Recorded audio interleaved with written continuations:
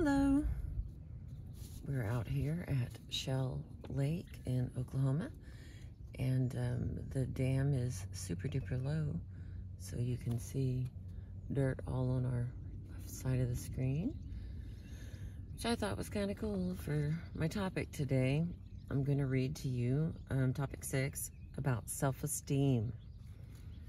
Most people experience feelings of low self esteem from time to time. This is normal. However, if you were abused or traumatized when you were a child, low self esteem may be your constant companion. The person or people who hurt you may have told you things about yourself that were not true, that you deserve to be hurt, that you are not worth anything, that you are bad or ugly, or that you never do anything right. They may have even tried to convince you that the abuse was your fault, that you deserved it. You may know logically that the things these people said to you were wrong, but in spite of having that knowledge, you may have carried these erroneous messages about yourself with you into adulthood, perpetuating the low self-esteem brought on by the abuse. You did not deserve to be hurt. You are a good, valuable, beautiful person. You do many things well. The abuse was not your fault, and you did not deserve it. Feeling bad about yourself can keep you from doing the things you want to do and living the life you want to live. You have a right to feel good about yourself. So in this chapter, you will work on raising self-esteem. Self-esteem building. To do this exercise, you'll need a blank piece of paper. Set a timer for 10 minutes or note the time on a clock. Write your name across the top of the paper. Then write everything positive and good you can think of about yourself. Include special attributes, talents, and achievements. You can use single words or sentences, whichever you prefer. You can write the same thing over and over if you want to emphasize them. Don't worry about spelling, grammar, or organization. Write down whatever comes to mind, but avoid making any negative statements or using any negative words. One woman wrote the following I am a warm, loving, and compassionate person. I am a very good person. I like to be kind to people. Many people like me. I love taking care of small children. When I am with them, I feel like I am doing something really good for myself and for the child or children I am playing with. I am also a very hard worker. People can count on me. I always do what I say I will, and I do it very well. When my mother was sick, I went to her house and scrubbed it from top to bottom. She was very pleased. I like to think of nice things to do for others. I empathize with others. When they are having a hard time, I try to do things for them to help them feel better. I am smart. In school, I was very good at math. I could figure out the problems quickly. I help my kids with their math homework. I encourage others to do the best they can. People say I have a nice smile and a nice laugh. When the 10 minutes are up, read the paper to yourself. You may feel sad when you do so because it is new, different, and positive way of thinking about yourself, a way that contradicts some of the negative thoughts you may have had about yourself. Read the paper several times, then put it in a convenient place, your pocket, your purse, your wallet, or the table beside your bed.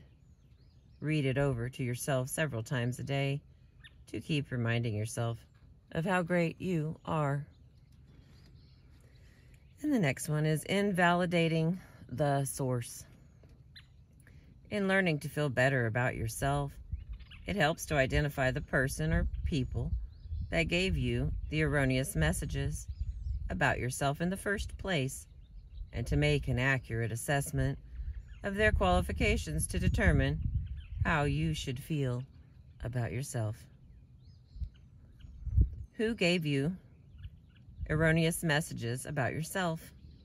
List everyone parents, siblings, grandparents, uncles, aunts, cousins, family friends, neighbors, other children, teachers, or clergy. And we've got several lines here, so you can write all those down. You're asking the question to yourself, who gave you wrong messages about yourself? All right, the next um, section is review the list.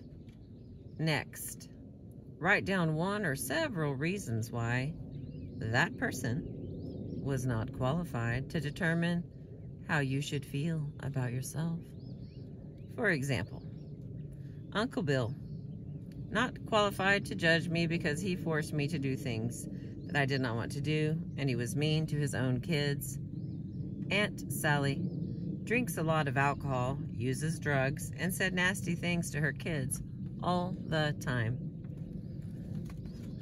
So the space provided is for you to review the list and then to disqualify the people. All right, the next part is based on these assessments, you probably don't want these people deciding how you should feel about yourself. However, letting go of the effect these people have on your thoughts is often very difficult. The following may help. Cut the paper into tiny pieces and throw them away. Rip the paper up and stuff it in a dumpster. Color all over it with a black marker and put it in an incinerator. Make this into a quote unquote letting go ceremony. Many women feel much freer when they do this exercise. They feel as though they have gotten rid of the person or people who made them feel bad about themselves. And along with that go the bad feelings. If you notice yourself thinking about these people or the bad things they said to you or did to you at some point in the future, repeat this exercise. All right, more practice with positive thoughts. In topic three, you learn to change negative thoughts about your body to positive ones. This exercise is similar to the one you did then. This time you will make a list of negative thoughts you have about yourself and develop positive responses to each one.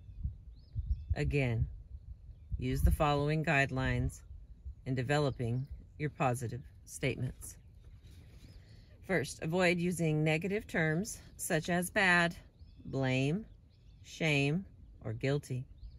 Instead, use only positive words such as friendly, warm, compassionate, competent, or responsible. The next, substitute, it would be nice if, for, should. And the last one, use I, me, or your name in the positive rebuttal. Two examples are provided to get you started with practice and persistence you will find that you will think positive thoughts about yourself more and more often. Change, I never do anything right, to I do lots of things well. Change, I'll never be worth anything, to I am a valuable person.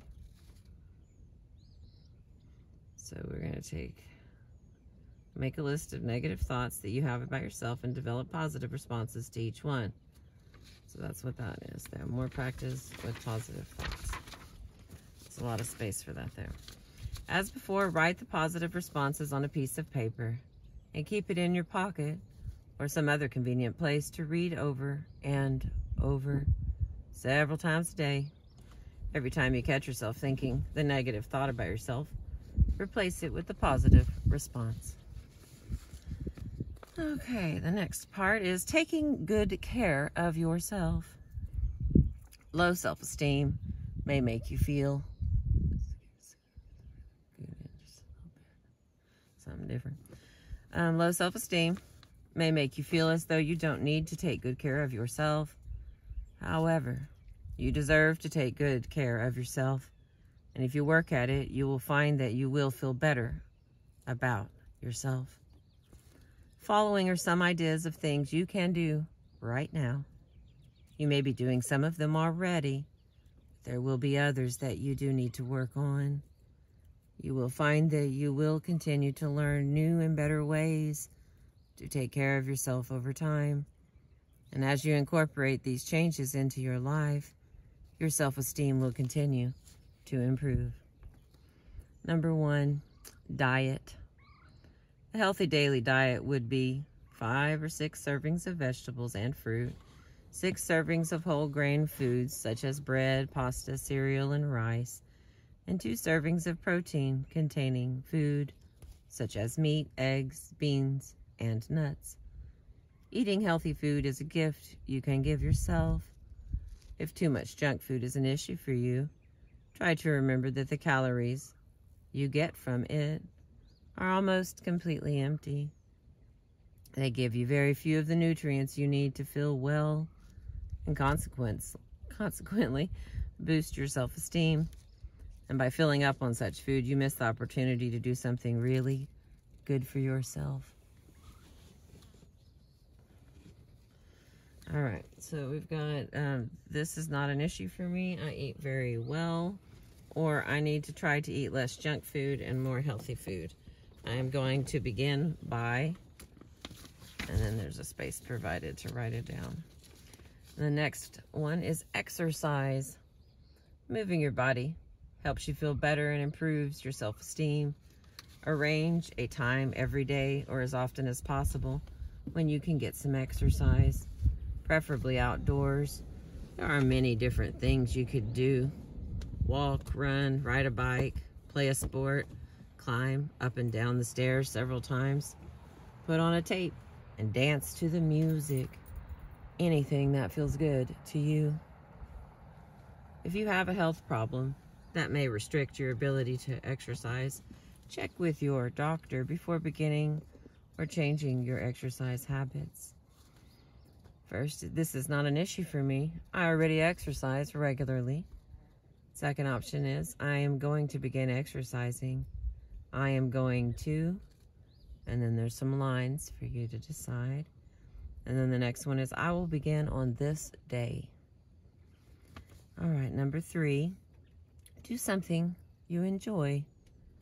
In topic one, you made a list of things you enjoy doing. Go back and review that list and take the time every day to do at least one item. And then uh, this is not a problem for me. I do things I enjoy every day. Or I am committed to doing something I enjoy. I have decided to. And then there's two blank lines. In order to do the things you enjoy, you may need to gather together some equipment or supplies, such as a sewing machine, a Scrabble game, art supplies, or books. So then it says I'm going to collect the following items so that you can do the thing that you enjoy. So it's got a place for you to write that down. Then we get to number four. Get good health care for yourself. Has it been a long time since you last had a physical examination? Do you have a chronic or acute health problem that needs attention? When was the last time you went to the dentist or had a pap smear? You deserve good health care. If you have a good insurance plan, this won't be a problem. If you don't, or if your access to health care is limited, see what is available in your community that is free or has a sliding scale. Fees you can afford. Call your local hospital to check on available options. Accessing good health care can be hard, but it is worth making the effort, and getting what you need and deserve for yourself. Option one, this is not a problem for me. Option two, I need a physical examination. I will call and arrange it on this day. And the last is, I have a health condition that needs attention. I am going to, And then you finish that sentence. Number five, if you have low self-esteem, you may neglect personal hygiene tasks that would make you feel better about yourself. Things such as a regular shower or bath, washing and styling your hair, trimming your nails, brushing and flossing your teeth, changing your clothes, or even getting dressed. You may feel so badly about yourself some days that you never get out of your night clothes. Option one, this is not a problem for me. Option two, I need to do the following to improve my personal hygiene. And then you would write that down. I'm going to begin doing these things on this day at this time. And number six, are there any other things you are going to start doing to take better care of yourself? If so, list them here. And the last two pages. Activities to raise self-esteem. Number one, make a list of your 10 greatest achievements. For example, I survived. I raised a wonderful child. I learned to read.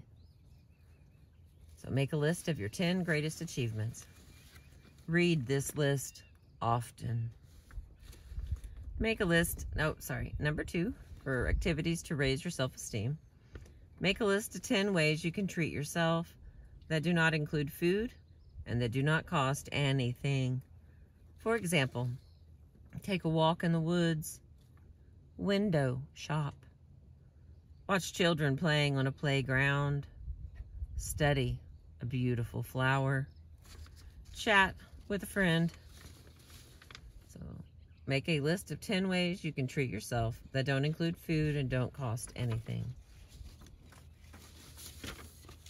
Give yourself one or several of these treats every day. Number three, laughing makes you feel good about yourself. Make a list of five things that make you laugh. Do something that makes you laugh at least once every day. And the final piece, optional activities. Make an appreciation paper. At the top of a sheet of paper, write things I like about, and then it says your name, so yourself, I guess. Have friends, acquaintances, and family members write a statement about how or why they appreciate you. When you read it, just accept it. Read this paper over and over. Keep it in a place where you will see it often. Number two, do a mutual complimenting exercise with a friend. Set aside 10 minutes and sit in two chairs facing each other. For the first five minutes, tell the other person everything you like about them and list as many of their special attributes as you can think of. For the second five minutes, your friend will do the same for you. And number three, in working on topic one, you set up a special place to do this work, and you were encouraged to decorate that space with special mementos. Add to that space objects that remind you of what a wonderful, special person you are. Look at these objects whenever you need to bolster your self-esteem. And then final one is things to remember every day. And these are the kind of things that I save in my phone. And they just pop up and remind me. I deserve to feel good about myself. I deserve to take good care of myself. That includes eating right, getting plenty of exercise, doing things I enjoy, getting good health care, and attending to my personal hygiene needs. I choose to spend my time with people who are nice to me and make me feel good about myself. I am a good person and I deserve to be alive. Well, thank you, my few select friends that listen to this. I appreciate you so much. This topic has been topic six self esteem.